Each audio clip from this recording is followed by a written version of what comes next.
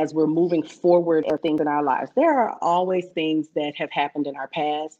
And with most of those things, there's a person or a group of people connected to that right? So it's similar to we go shopping, I go on about my day, I need to pick up something here, I need to pick up something there. I run into this interaction and this experience here and there. And along the way, every time I swipe my card or hand somebody some cash, a receipt is is um, developed, right? And so I could go along my life collecting receipts.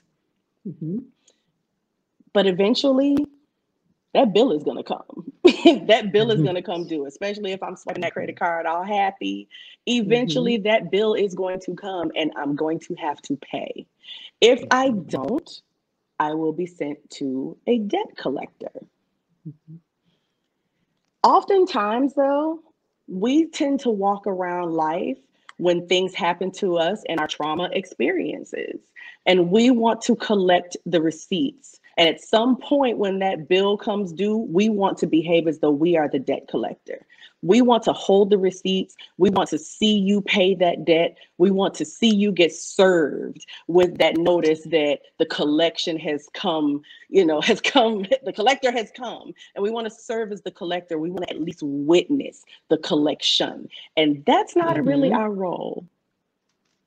That is not our role. We are not the debt collectors. We may have had something happen to us, but that is not on us. That is not um, our responsibility, our duty, nor our accountability to see that the other party or parties pay their debt, the debt that we have assigned to them. That is not our job. Free yourself from trying to be the debt collector. Free yourself from carrying around the receipts. Free yourself, lighten your load. Don't become the bag lady.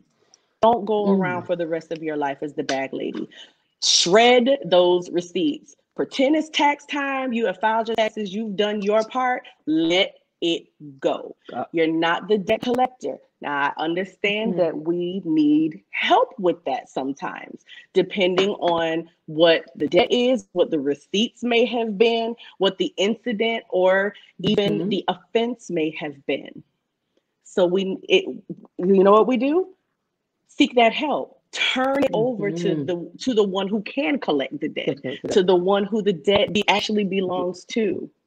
Mm-hmm. We are not the debt collector. We are not the end all be all. We are not the judge and the jury. That's not our mm-hmm. role. And we weigh ourselves down when we keep trying to act in a role that is not meant for us to begin with.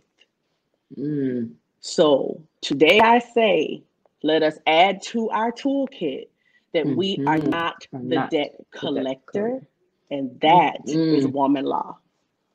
Mm. I like that, Then